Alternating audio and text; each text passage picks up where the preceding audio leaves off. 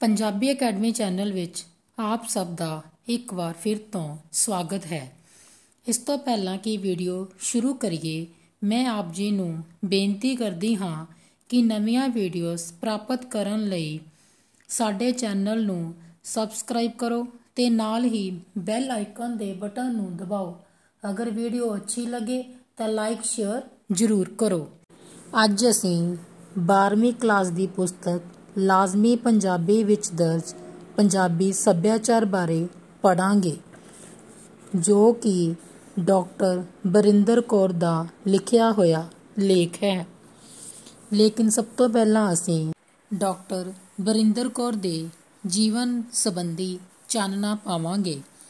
Doctor Barinder Kaur ਦਾ ਜਨਮ 15 ਅਪ੍ਰੈਲ 1966 ਈਸਵੀ ਨੂੰ ਅੰਮ੍ਰਿਤਸਰ ਵਿਖੇ ਸਰਦਾਰ ਗੁਰਦਿਆਲ ਸਿੰਘ ਦੇ ਘਰ ਸਰਦਾਰਨੀ ਸੁਰਜੀਤ ਕੌਰ ਦੀ ਕੁੱਖੋਂ ਹੋਇਆ।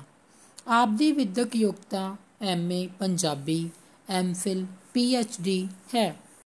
ਡਾਕਟਰ ਬਰਿੰਦਰ ਕੌਰ 1990 ਤੋਂ ਪੰਜਾਬੀ ਭਾਸ਼ਾ ਸਾਹਿਤ ਸੱਭਿਆਚਾਰ ਦੇ ਕਾਰਜ ਵਿੱਚ ਜੁੜੇ ਹੋਏ ਹਨ। ਸਨ 2003 ਤੋਂ ਪੰਜਾਬ ਦੇ ਵੱਖ-ਵੱਖ ਕਾਲਜਾਂ ਵਿੱਚ ਬਤੌਰ ਪ੍ਰਿੰਸੀਪਲ ਸੇਵਾ ਨਿਭਾ ਰਹੇ ਹਨ। ਆਪ ਪੰਜਾਬੀ ਸਾਹਿਤ, ਭਾਸ਼ਾ ਅਤੇ ਲੋਕਧਾਰਾ ਨਾਲ ਜੁੜੇ ਵਿਸ਼ਿਆਂ ਸੰਬੰਧੀ ਪੁਸਤਕਾਂ ਦੀ ਪ੍ਰਕਾਸ਼ਨਾ ਵੀ ਕਰਵਾ ਚੁੱਕੇ ਹੋ। ਇਹਨਾਂ ਤੋਂ ਇਲਾਵਾ ਆਪ ਰੰਗਮੰਚ, ਟੀਵੀ ਤੇ ਪੰਜਾਬੀ ਪੱਤਰਕਾ ਵਿੱਚ ਸ਼ੌਂਕ ਰੱਖਦੇ ਹਨ।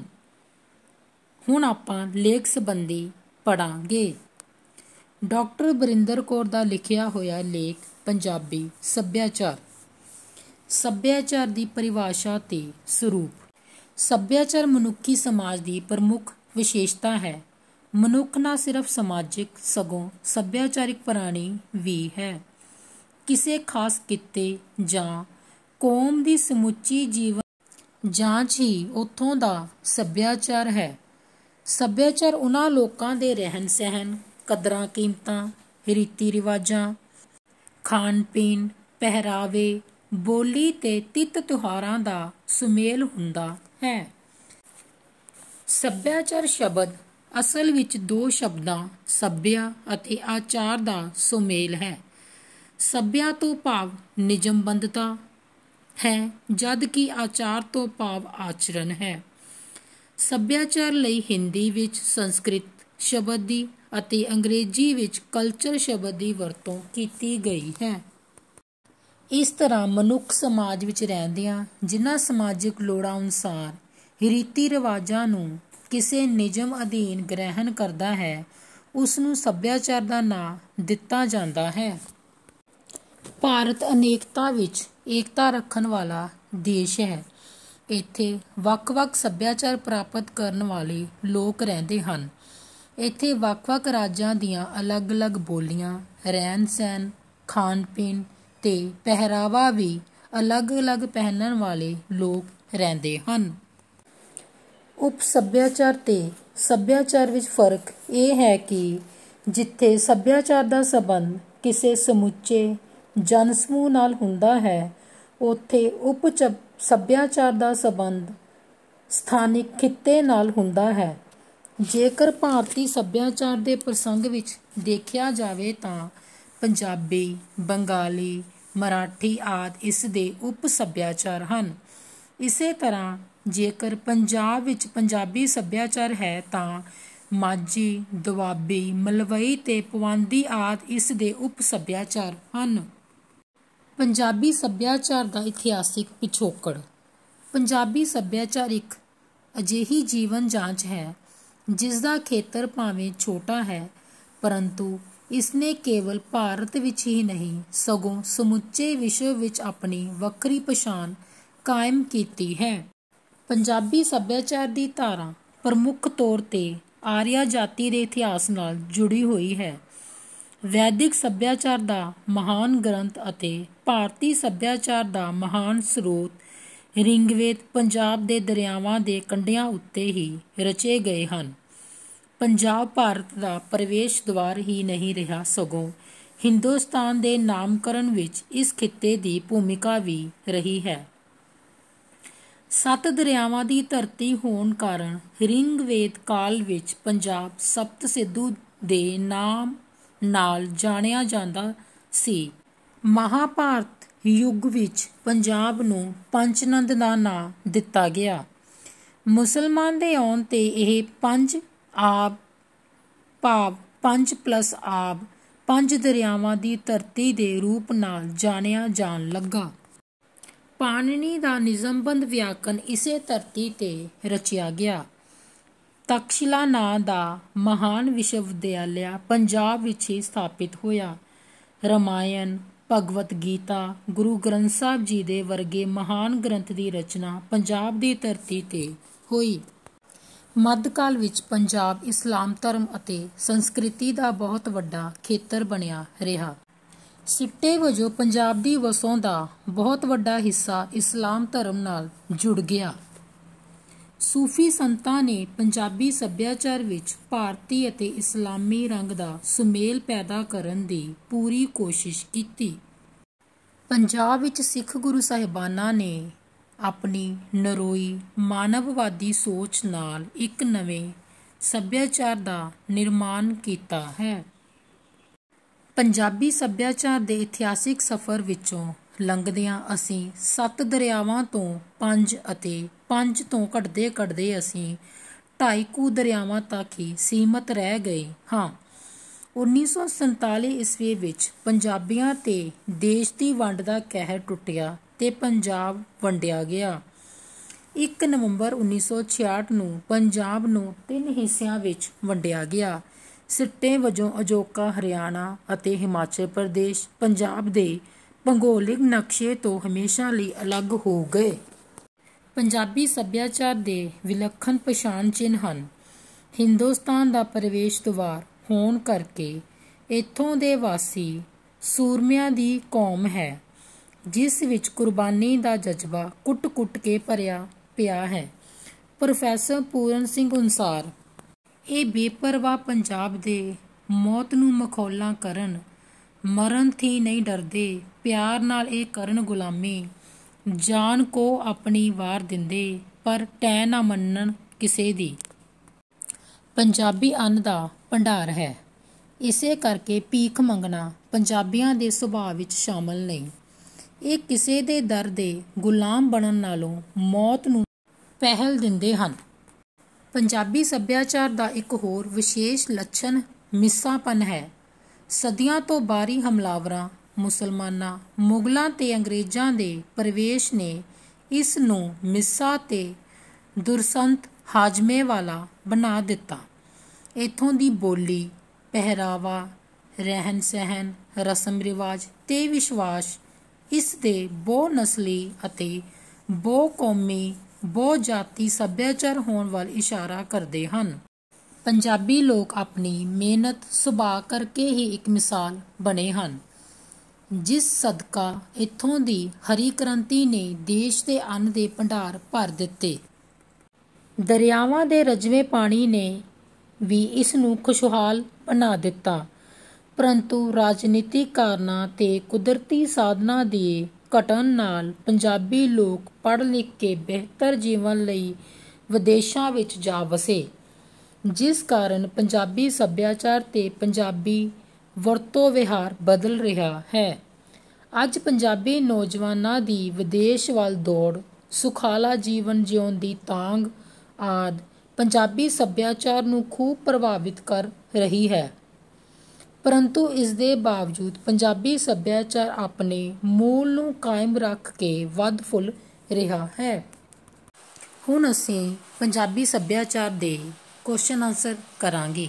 ਫਸਟ ਕੁਐਸਚਨ ਸੱਭਿਆਚਾਰ ਦੀ ਪਰਿਭਾਸ਼ਾ ਕੀ ਹੈ? ਉੱਤਰ, ਸੱਭਿਆਚਾਰ ਸ਼ਬਦ ਅਸਲ ਵਿੱਚ ਦੋ ਸ਼ਬਦਾਂ, ਸੱਭਿਆ ਅਤੇ ਆਚਾਰ ਦਾ ਸੁਮੇਲ ਹੈ। ਸੱਭਿਆ ਦਾ ਸ਼ਬਦਾਇਕ ਅਰਥ ਨਿਯਮਬੰਧਤਾ ਹੈ, ਜਦ ਕਿ ਆਚਾਰ ਦਾ ਅਰਥ ਆਚਰਣ ਹੈ। ਸੱਭਿਆਚਾਰ ਕਿਸੇ ਖਾਸ ਕੌਮ ਜਾਂ ਖਿੱਤੇ ਦੀ ਜੀਵਨ ਜਾਂਚ ਹੁੰਦੀ ਹੈ।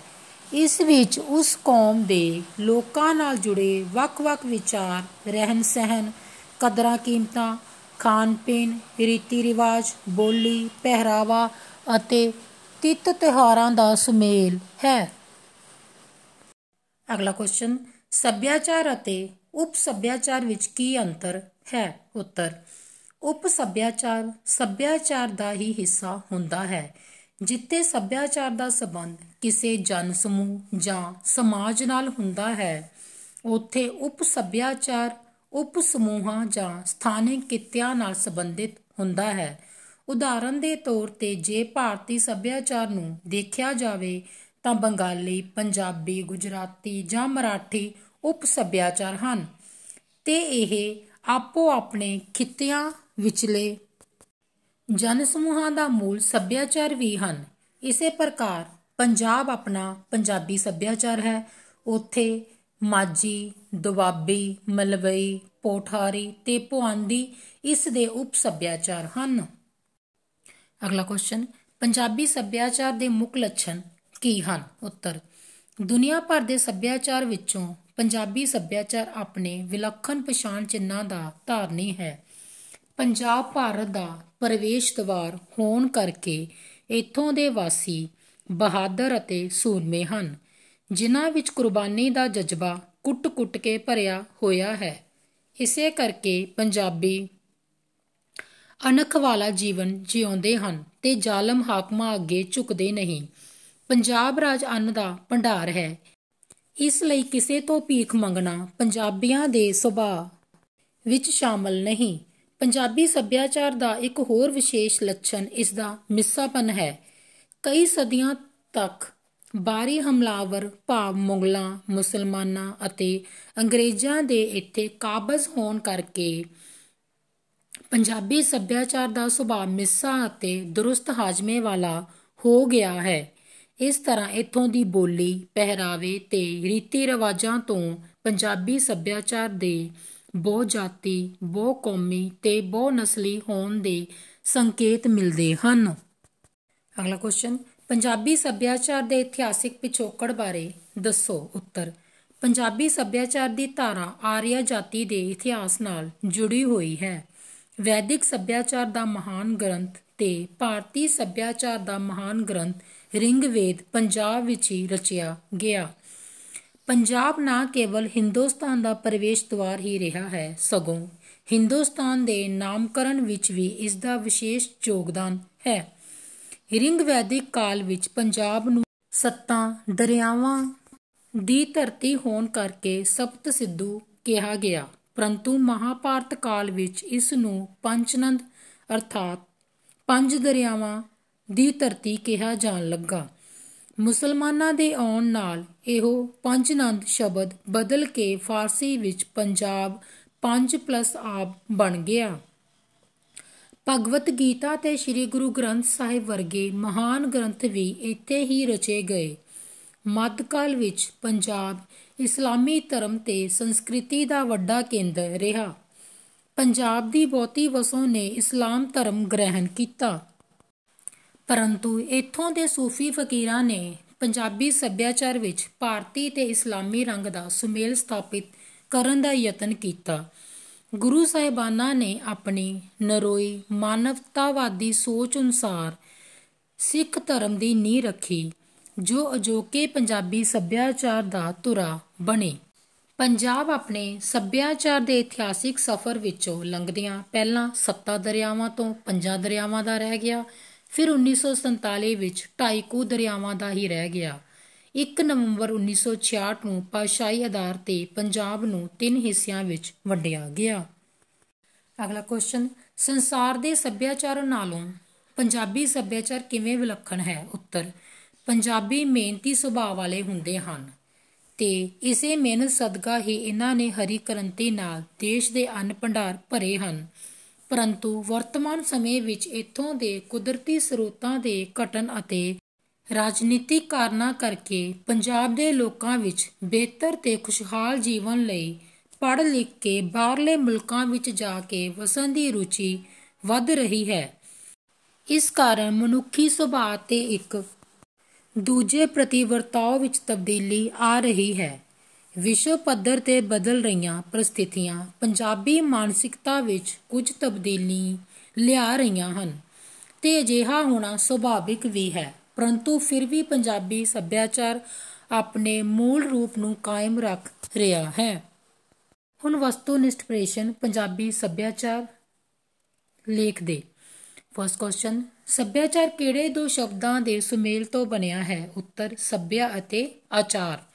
ਨੈਕਸਟ ਹਿੰਦੀ ਭਾਸ਼ਾ ਵਿੱਚ ਸੱਭਿਆਚਾਰ ਲਈ ਕਿਹੜੇ ਸ਼ਬਦ ਦੀ ਵਰਤੋਂ ਹੁੰਦੀ ਹੈ? ਉੱਤਰ, ਸੰਸਕ੍ਰਿਤੀ। ਨੈਕਸਟ ਅੰਗਰੇਜ਼ੀ ਭਾਸ਼ਾ ਵਿੱਚ ਸੱਭਿਆਚਾਰ ਲਈ ਕਿਹੜਾ ਸ਼ਬਦ ਵਰਤਿਆ ਜਾਂਦਾ ਹੈ? ਉੱਤਰ ਕਲਚਰ ਅਗਲਾ ਕੁਐਸਚਨ ਇਸ ਪਾਠ ਦੇ ਆਧਾਰ ਤੇ ਦੱਸੋ ਕਿ ਪੰਜਾਬ ਦੇ ਦਰਿਆਵਾਂ ਦੇ ਕੰਢਿਆਂ ਉੱਤੇ ਕਿਹੜੇ ਵੇਦ ਦੀ ਰਚਨਾ ਕੀਤੀ ਗਈ? ਉੱਤਰ, ਰਿੰਗਵੇਦ ਦੀ। ਨੈਕਸਟ ਰਿੰਗਵੇਦ ਸਮੇਂ ਪੰਜਾਬ ਨੂੰ ਕਿਸ ਨਾਂ ਨਾਲ ਜਾਣਿਆ ਜਾਂਦਾ ਸੀ? ਉੱਤਰ, ਸਪਤ ਸਿੰਧੂ।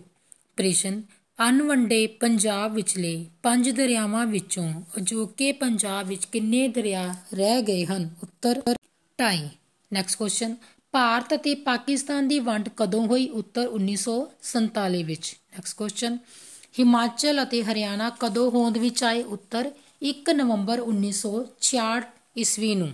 ਨੈਕਸਟ ਕੁਐਸਚਨ ਰਿੰਗਵੇਦ ਦੀ ਰਚਨਾ ਦੇ ਨਾਲ-ਨਾਲ ਕਿਹੜੇ ਨਿਯਮਬੰਧ ਵਿਆਕਰਨ ਗ੍ਰੰਥ ਦੀ ਰਚਨਾ ਇਸ ਧਰਤੀ ਤੇ ਹੋਈ? ਉੱਤਰ ਪਾਣਨੀ ਦੇ ਨਿਯਮਬੰਧ ਵਿਆਕਰਨ ਦੀ। ਅਗਲਾ ਕੁਐਸਚਨ ਉਪ ਸੱਭਿਆਚਾਰ ਕਿਸ ਦਾ ਹਿੱਸਾ ਹੁੰਦਾ ਹੈ? ਉੱਤਰ, ਮੂਲ ਸੱਭਿਆਚਾਰ ਦਾ। ਨੈਕਸਟ ਕੁਐਸਚਨ ਵੈਦਿਕ ਸੱਭਿਅਤਾ ਦਾ ਮਹਾਨ ਗ੍ਰੰਥ ਕਿਹੜਾ ਹੈ? ਉੱਤਰ ਰਿੰਗ ਵੇਦ ਨੈਕਸਟ ਕੁਐਸਚਨ ਮਹਾਭਾਰਤ ਯੁੱਗ ਵਿੱਚ ਪੰਜਾਬ ਦਾ ਨਾਂ ਕੀ ਸੀ? ਉੱਤਰ ਪੰਜ ਨੰਦ ਨੈਕਸਟ ਕੁਐਸਚਨ ਗੁਰੂ ਸਾਹਿਬਾਨ ਨੇ ਕਿਹੜੇ ਮਹਾਨ ਗ੍ਰੰਥ ਦੀ ਰਚਨਾ ਕੀਤੀ? ਉੱਤਰ ਸ੍ਰੀ ਗੁਰੂ ਗ੍ਰੰਥ ਸਾਹਿਬ ਦੀ। ਪੰਜਾਬ ਸ਼ਬਦ ਕਿੰਨਾ ਫਾਰਸੀ ਸ਼ਬਦਾਂ ਦੇ ਸੁਮੇਲ ਤੋਂ ਬਣਿਆ ਹੈ? ਉੱਤਰ 5 ਆਬ ਅਗਲਾ ਕੁਐਸਚਨ ਪੰਜਾਬ ਸ਼ਬਦ ਕਿਹੜੀ ਭਾਸ਼ਾ ਦਾ ਹੈ? ਉੱਤਰ ਫਾਰਸੀ। ਨੈਕਸਟ ਕੁਐਸਚਨ ਗੁਰੂ ਸਾਹਿਬਾਨਾਂ ਦੀ ਸੋਚ ਕਿਹੋ ਜੀ ਸੀ? ਉੱਤਰ ਨਰੋਈ ਮਾਨਵਵਾਦੀ। ਨੈਕਸਟ ਕੁਐਸਚਨ ਵੈਦਿਕ ਜ਼ਮਾਨੇ ਵਿੱਚ ਪੰਜਾਬ ਵਿੱਚ ਸਥਾਪਿਤ ਹੋਏ ਵਿਸ਼ਵ ਵਿਦਿਆਲੇ ਦਾ ਨਾਂ ਕੀ ਸੀ? ਉੱਤਰ, ਤਕਸ਼ਿਲਾ ਵਿਸ਼ਵ ਵਿਦਿਆਲਾ। ਨੈਕਸਟ ਕੁਐਸਚਨ ਅੰਨ ਦਾ ਭੰਡਾਰ ਕਿਹੜਾ ਇਲਾਕਾ ਹੈ? ਉੱਤਰ, ਪੰਜਾਬ। ਨੈਕਸਟ ਕੁਐਸਚਨ ਮਿੱਸਾਪਨ ਕਿਹੜੇ ਸੱਭਿਆਚਾਰ ਦਾ ਲੱਛਣ ਹੈ? ਉੱਤਰ, ਪੰਜਾਬੀ ਸੱਭਿਆਚਾਰ ਦਾ। ਨੈਕਸਟ ਕਿਹੜੇ ਪ੍ਰਦੇਸ਼ ਦੇ ਲੋਕ ਕੁਦਰਤੀ ਸਾਧਨਾਂ ਦੇ ਘਟਣ ਤੇ ਰਾਜਨੀਤਿਕ ਕਾਰਨਾਂ ਕਰਕੇ ਵਿਦੇਸ਼ ਵੱਲ ਜਾ ਰਹੇ ਹਨ ਉੱਤਰ ਪੰਜਾਬ ਦੇ। ਅਗਲਾ ਕੁਐਸਚਨ ਪੰਜਾਬੀ ਸੱਭਿਆਚਾਰ ਦੇ ਕਿਸੇ ਇੱਕ ਉਪ ਸੱਭਿਆਚਾਰ ਦਾ ਨਾਮ ਦੱਸੋ। ਉੱਤਰ, ਦੁਬਾਬੀ ਸੱਭਿਆਚਾਰ। ਨੈਕਸਟ ਕੁਐਸਚਨ ਕਿਹੜੀਆਂ ਦੋ ਚੀਜ਼ਾਂ ਦੁਨੀਆ ਦੇ ਹਰ ਕੋਨੇ ਵਿੱਚ ਮਿਲ ਜਾਂਦੀਆਂ ਹਨ? ਉੱਤਰ, ਆਲੂ ਤੇ ਪੰਜਾਬੀ। ਹੁਣ ਅੱਗੇ ਐਮਸੀਕਿਊ ਕੁਐਸਚਨ ਪੰਜਾਬੀ ਸੱਭਿਆਚਾਰ ਦੇ। ਫਰਸਟ ਕੁਐਸਚਨ ਪੰਜਾਬੀ ਸੱਭਿਆਚਾਰ ਲੇਖ ਕਿਸ ਦੀ ਰਚਨਾ ਹੈ? ਓੜਾ ਡਾਕਟਰ ਦਲੀਪ ਕੌਰ ਟਿਵਾਣਾ, ਆੜਾ, ਡਾਕਟਰ ਬਰਿੰਦਰ ਕੌਰ ਏੜੀ ਅਮਰਤਾ ਪ੍ਰੀਤਮ, ਸੱਸਾ, ਡਾਕਟਰ ਸੁਰਜੀਤ ਕੌਰ। ਇਹਦਾ ਉੱਤਰ ਕੀ ਆ? ਆੜਾ, ਡਾਕਟਰ ਬਰਿੰਦਰ ਕੌਰ। ਅਗਲਾ ਕੁਐਸਚਨ ਡਾਕਟਰ ਬਰਿੰਦਰ ਕੌਰ ਦਾ ਲਿਖਿਆ ਲੇਖ ਕਿਹੜਾ ਹੈ? ਊੜਾ, ਪੰਜਾਬੀ ਸੱਭਿਆਚਾਰ, ਪੰਜਾਬ ਦੀ ਲੋਕ ਕਲਾ, ਪੰਜਾਬ ਦੇ ਮੇਲੇ ਤੇ ਤਿਉਹਾਰ, ਸੱਸਾ, ਪੰਜਾਬ ਦੇ ਲੋਕ ਗੀਤ। ਉੱਤਰ ਹੈ ਓੜਾ ਪੰਜਾਬੀ ਸੱਭਿਆਚਾਰ। ਅਗਲਾ ਕੁਐਸਚਨ ਸੱਭਿਆ ਅਤੇ ਆਚਾਰ ਸ਼ਬਦ ਦਾ ਮੇਲ ਤੋਂ ਕਿਹੜਾ ਸ਼ਬਦ ਬਣਿਆ ਹੈ? ਊੜਾ ਮੇਲਾ, ਆੜਾ ਸੱਭਿਆਚਾਰ, ਈੜੀ ਲੋਕ ਕਲਾ, ਸੱਸਾ, ਕੋਈ ਵੀ ਨਹੀਂ। ਉੱਤਰ ਹੈ ਆੜਾ ਸੱਭਿਆਚਾਰ। ਨੈਕਸਟ ਕੁਐਸਚਨ ਅੰਗਰੇਜ਼ੀ ਵਿੱਚ ਸੱਭਿਆਚਾਰ ਲਈ ਕਿਹੜੇ ਸ਼ਬਦ ਦੀ ਵਰਤੋਂ ਹੁੰਦੀ ਹੈ? ਊੜਾ ਕਲਚਰ, ਆੜਾ ਕਲਕਤ, ਈੜੀ ਸੰਸਕ੍ਰਿਤ, ਕੋਈ ਵੀ ਨਹੀਂ। ਉੱਤਰ ਹੈਗਾ ਊੜਾ ਕਲਚਰ। ਅਗਲਾ ਕੁਐਸਚਨ ਪੰਜਾਬ ਦੇ ਦਰਿਆਵਾਂ ਦੇ ਕੰਢਿਆਂ ਉੱਤੇ ਕਿਹੜੇ ਵੇਦ ਦੀ ਰਚਨਾ ਕੀਤੀ ਗਈ? ਓੜਾ ਯੁਜਰਵੇਦ, ਆੜਾ ਰਿੰਗਵੇਦ, ਏੜੀ ਸਾਮਵੇਦ, ਸੱਸਾ ਕੋਈ ਵੀ ਨਹੀਂ। ਉੱਤਰ ਇਹਦਾ ਹੈਗਾ ਆੜਾ ਰਿੰਗਵੇਦ। ਅਗਲਾ ਕੁਐਸਚਨ ਮਹਾਭਾਰਤ ਯੁੱਗ ਵਿੱਚ ਪੰਜਾਬ ਦਾ ਨਾਂ ਕੀ ਸੀ? ਉੱਤਰ ਸਪਤ ਸਿੱਧੂ, ਪੰਚਨੰਦ, ਏੜੀ ਸਾਮਵੇਦ, ਸੱਸਾ ਕੋਈ ਵੀ ਨਹੀਂ। ਇਸ ਦਾ ਉੱਤਰ ਹੈ ਆੜਾ ਪੰਚਨੰਦ। ਅਗਲਾ ਕੁਐਸਚਨ ਪੰਜਾਬੀ ਸੱਭਿਆਚਾਰ ਦੇ ਕਿਸੇ ਇੱਕ ਉਪ ਸੱਭਿਆਚਾਰ ਦਾ ਕੀ ਨਾਂ ਹੈ? ਦੁਆਬੀ ਸੱਭਿਆਚਾਰ, ਮਾਲਦੀ ਸੱਭਿਆਚਾਰ, ਮਲਵਈ ਸੱਭਿਆਚਾਰ ਜਾਂ ਸੱਸਾ ਕੋਈ ਵੀ ਨਹੀਂ। ਉੱਤਰ ਉੱਤਰ ਹੈ ਈੜੀ ਮਲਵਈ ਸੱਭਿਆਚਾਰ। ਅਗਲਾ ਕੁਐਸਚਨ ਪੰਜਾਬ ਸ਼ਬਦ ਕਿਹੜੀ ਭਾਸ਼ਾ ਦਾ ਹੈ? ਊੜਾ, ਉਰਦੂ, ਆੜਾ, ਫਾਰਸੀ, ਈੜੀ ਸਪਤ ਸਿੱਧੂ, ਸੱਸਾ, ਹਿੰਦੀ। ਇਸ ਦਾ ਉੱਤਰ ਹੈ ਈੜੀ ਸਪਤ ਸਿੰਧੂ। ਅਗਲਾ ਕੁਐਸਚਨ ਭਾਰਤ ਤੇ ਪਾਕਿਸਤਾਨ ਦੀ ਵੰਡ ਕਦੋਂ ਹੋਈ? ਊੜਾ 1934 ਵਿੱਚ, ਆੜਾ 1944 ਵਿੱਚ, ਈੜੀ 1950 ਵਿੱਚ, ਸੱਸਾ 1947 ਵਿੱਚ। ਉੱਤਰ ਹੈਗਾ ਇਸ ਦਾ ਸੱਸਾ 1947 ਵਿੱਚ। ਅਗਲਾ ਕੁਐਸਚਨ ਕਿਹੜਾ ਇਲਾਕਾ ਅੰਨ ਦਾ ਭੰਡਾਰ ਹੈ? ਊੜਾ ਹਿਮਾਚਲ, ਆੜਾ ਜੰਮੂ, ਈੜੀ ਪੰਜਾਬ, ਸੱਸਾ ਦਿੱਲੀ। ਉੱਤਰ ਹੈਗਾ ਇਹਦਾ, ਈੜੀ ਪੰਜਾਬ। ਅਗਲਾ ਕੁਐਸਚਨ ਵੈਦਿਕ ਸਭਿਅਤਾ ਦਾ ਮਹਾਨ ਗ੍ਰੰਥ ਕਿਹੜਾ ਹੈ? ਊੜਾ ਅਰਥਵੇਦ, ਆੜਾ ਰਿੰਗਵੇਦ, ਈੜੀ ਯੁਜਰਵੇਦ, ਸੱਸਾ ਕੋਈ ਵੀ ਨਹੀਂ। ਉੱਤਰ ਹੈਗਾ ਆੜਾ ਰਿੰਗਵੇਦ। ਅਗਲਾ ਕੁਐਸਚਨ ਹਿਮਾਚਲ ਤੇ ਹਰਿਆਣਾ ਕਦੋਂ ਹੋਂਦ ਵਿੱਚ ਆਏ? ਊੜਾ 1 ਨਵੰਬਰ 1967 ਆੜਾ 1 ਨਵੰਬਰ 1966 ਈੜੀ ਨਵੰਬਰ 1965 ਸੱਸਾ ਕੋਈ ਵੀ ਨਹੀਂ। ਇਸ ਦਾ ਉੱਤਰ ਹੈ ਆੜਾ 1 ਨਵੰਬਰ 1966 ਪੇਪਰ ਵਿੱਚ ਬੱਚਿਓ, ਤੁਹਾਨੂੰ ਪੰਜਾਬੀ ਸੱਭਿਆਚਾਰ ਦੇ ਪਾਠ ਦੇ ਕੁਐਸਚਨ ਵਸਤੂਨਿਸ਼ਟ ਪ੍ਰੇਸ਼ਨ ਬਹੁ ਵਿਕਲਪੀ ਪ੍ਰੇਸ਼ਨ ਤੇ ਅੱਗੇ ਖਾਲੀ ਥਾਵਾਂ ਤੇ ਸਹੀ ਗਲਤ ਵੀ ਆ ਸਕਦੇ ਹਨ। ਅਸੀਂ ਸਾਰੇ ਕੁਐਸਚਨਾਂ ਤੋਂ ਬਾਅਦ ਹੁਣ ਖਾਲੀ ਥਾਵਾਂ ਤੇ ਸਹੀ ਗਲਤ ਕਰਾਂਗੇ। ਖਾਲੀ ਥਾਵਾਂ ਨੂੰ ਮੈਂ ਲਾਲ ਰੰਗ ਨਾਲ ਲਿਖਿਆ ਹੈ ਤਾਂ ਕਿ ਤੁਹਾਨੂੰ ਚੰਗੀ ਤਰ੍ਹਾਂ ਸਮਝ ਲੱਗ ਸਕੇ ਕਿ ਬਲੈਂਕਸ ਕਿਹੜੀ ਹੈ। ਪਹਿਲੀ ਸੱਭਿਆਚਾਰ ਨਿਸ਼ਚੇ ਹੀ ਉਸ ਕੌਮ ਦੇ ਜੀਵਨ ਨਾਲ ਜੁੜੇ ਵੱਖ-ਵੱਖ ਵਿਚਾਰਾਂ, ਮਨੌਤਾਂ ਰਹਿਣ ਸਹਿਣ ਕਦਰਾਂ ਕੀਮਤਾਂ ਖਾਣ ਪੀਣ ਰੀਤੀ ਰਿਵਾਜਾਂ ਪਹਿਰਾਵੇ, ਬੋਲੀ ਤੇ ਤਿਉਹਾਰਾਂ ਤਿੱਤ ਤਿਉਹਾਰਾਂ ਦਾ ਸੁਮੇਲ ਹੈ। ਅੱਗੇ, ਸੱਭਿਆਚਾਰ ਸ਼ਬਦ ਅਸਲ ਵਿੱਚ ਦੋ ਸ਼ਬਦਾਂ ਡੈਸ਼ ਅਤੇ ਡੈਸ਼ ਦਾ ਸੁਮੇਲ ਹੈ, ਸੱਭਿਆ ਅਤੇ ਆਚਾਰ ਦਾ। ਅੱਗੇ, ਭਾਰਤ ਡੈਸ਼ ਵਿੱਚ ਏਕਤਾ ਵਾਲਾ ਦੇਸ਼ ਹੈ, ਅਨੇਕਤਾ ਵਾਲਾ। ਅਗਲੀ ਬਲੈਕਸ ਡੈਸ਼ ਦਾ ਸੰਬੰਧ ਕਿਸੇ ਜਨ ਸਮੂਹ ਜਾਂ ਸਮਾਜ ਨਾਲ ਹੁੰਦਾ ਹੈ। ਉੱਥੇ ਉਪ ਸੱਭਿਆਚਾਰ, ਉਪ ਸਮੂਹਾਂ ਜਾਂ ਸਥਾਨਕ ਖਿੱਤਿਆਂ ਨਾਲ ਸੰਬੰਧਿਤ ਹੁੰਦਾ ਹੈ। ਖਾਲੀ ਥਾਂ ਵਿੱਚ ਕੀ ਪਰਾਂਗੇ ਸੱਭਿਆਚਾਰ। ਅਗਲੇ ਡੈਸ਼ ਦੀ, ਦੇਸ਼ ਦੀ ਵੰਡ ਡੈਸ਼ ਉੱਪਰ ਕਹਿਰ ਬਣ ਕੇ ਟੁੱਟੀ। 1947 ਦੀ ਦੇਸ਼ ਦੀ ਵੰਡ ਪੰਜਾਬੀਆਂ ਉੱਪਰ ਕਹਿਰ ਬਣ ਕੇ ਟੁੱਟੀ। ਅਗਲੀ ਬਲੈਕਸ ਡੈਸ਼ ਨੂੰ ਭਾਸ਼ਾਈ ਆਧਾਰ ਤੇ ਪੰਜਾਬ ਰਾਜ ਨੂੰ ਤਿੰਨ ਹਿੱਸਿਆਂ ਵਿੱਚ ਵੰਡਿਆ ਗਿਆ। 1 ਨਵੰਬਰ 1966 ਨੂੰ ਭਾਸ਼ਾਈ ਆਧਾਰ ਤੇ ਪੰਜਾਬ ਰਾਜ ਨੂੰ ਤਿੰਨ ਹਿੱਸਿਆਂ ਵਿੱਚ ਵੰਡਿਆ ਗਿਆ। ਅਗਲੀ ਬਲੈਂਕਸ ਇਸ ਅਨੇਕਤਾ ਵਿੱਚ ਡੈਸ਼ ਵਿਲੱਖਣਤਾ ਦੇ ਬਾਵਜੂਦ ਭਾਰਤੀ ਸੱਭਿਆਚਾਰ ਦੀ ਏਕਤਾ ਕਾਇਮ ਹੈ। ਬਲੈਂਕਸ ਕੀ ਆਊਗਾ? ਉਪ ਸੱਭਿਆਚਾਰ ਹੁਣ ਅੱਗੇ ਸਹੀ, ਗਲਤ। ਹੇਠ ਦੇ ਕਥਨਾਂ ਵਿੱਚੋਂ ਕਿਹੜੇ ਸਹੀ ਹਨ ਅਤੇ ਕਿਹੜੇ ਗਲਤ ਹਨ? ਪਹਿਲਾ, ਭਾਰਤ ਅਨੇਕਤਾ ਵਿੱਚ ਏਕਤਾ ਵਾਲਾ ਦੇਸ਼ ਨਹੀਂ, ਗਲਤ। ਭਗਵਤ ਗੀਤਾ ਤੇ ਗੁਰੂ ਗ੍ਰੰਥ ਸਾਹਿਬ ਦੀ ਰਚਨਾ ਪੰਜਾਬ ਦੀ ਧਰਤੀ ਉੱਤੇ ਹੋਈ ਸਹੀ। ਰਿੰਗਵੇਦ ਦੀ ਰਚਨਾ ਸਮੇਂ ਪੰਜਾਬ ਵਿੱਚ ਸੱਤ ਦਰਿਆ ਵਗਦੇ ਸਨ, ਸਹੀ। ਅੱਗੇ, ਸੱਭਿਆਚਾਰ ਕਿਸੇ ਖਾਸ ਕਿੱਤੇ ਜਾਂ ਕੌਮ ਦਾ ਧਰਮ ਹੁੰਦਾ ਹੈ, ਗਲਤ। ਪੰਜਾਬ ਦਾ ਇਹ ਨਾਮ ਮੁਸਲਮਾਨਾਂ ਦੇ ਰਾਜ ਵਿੱਚ ਪਿਆ, ਸਹੀ। ਅੰਗਰੇਜ਼ੀ ਭਾਸ਼ਾ ਵਿੱਚ ਸੱਭਿਆਚਾਰ ਲਈ ਕਲਚਰ ਸ਼ਬਦ ਵਰਤਿਆ ਜਾਂਦਾ ਹੈ, ਸਹੀ। ਹਿੰਦੀ ਵਿੱਚ ਸੱਭਿਆਚਾਰ ਲਈ ਸੰਸਕ੍ਰਿਤੀ ਸ਼ਬਦ ਦੀ ਵਰਤੋਂ ਹੁੰਦੀ ਹੈ, ਸਹੀ। ਹਰਿਆਣਾ ਤੇ ਹਿਮਾਚਲ ਪੰਜਾਬ ਨਾਲੋਂ 1947 ਵਿੱਚ ਵੱਖ ਹੋ ਗਏ, ਗਲਤ। ਅਜੋਕੇ ਪੰਜਾਬੀ ਸੱਭਿਆਚਾਰ ਵਿੱਚ ਤਬਦੀਲੀਆਂ ਆ ਰਹੀਆਂ ਹਨ, ਸਹੀ। ਇਸ ਤਰ੍ਹਾਂ ਅਖੀਰ ਵਿੱਚ ਮੈਂ ਆਸ ਕਰਦੀ ਹਾਂ ਕਿ ਤੁਹਾਨੂੰ ਪੰਜਾਬੀ ਸੱਭਿਆਚਾਰ ਪਾਠ ਦੇ ਸਾਰੇ ਕੁਐਸਚਨ ਵਸਤੂਨਿਸ਼ਟ ਪ੍ਰਸ਼ਨ ਠੀਕ, ਗਲਤ, ਖਾਲੀ ਥਾਵਾਂ ਚੰਗੀ ਤਰ੍ਹਾਂ ਸਮਝ ਲੱਗ ਚੁੱਕੀਆਂ ਹੋਣਗੀਆਂ। ਧੰਨਵਾਦ।